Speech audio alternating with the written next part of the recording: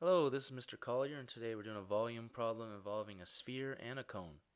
So basically, we have a scoop of ice cream, which is a sphere, and this melts into this cone, and it fills the cone up to two thirds. Okay, it fills two thirds of the cone. Now, so we need to find the volume of the sphere, so we can find the volume of two thirds of the cone here. So the volume of a sphere equals 4 thirds pi r cubed. And our radius is 5, so that's going to be 5 cubed. That equals 4 thirds pi times 125.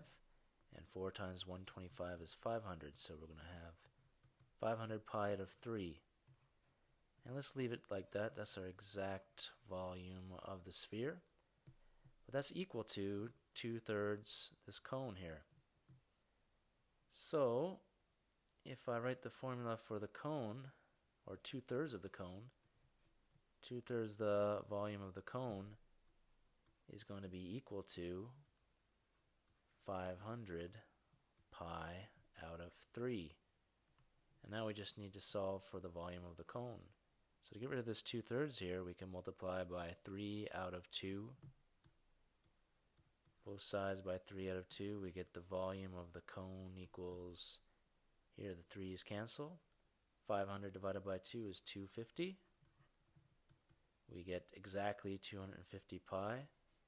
If we work out an approximate answer on our calculator, 250 times pi, 785.4. So here we get 785.4 cubic centimeters, or you can write that as 785.4 milliliters. So that's the volume of your cone, and that's your final answer.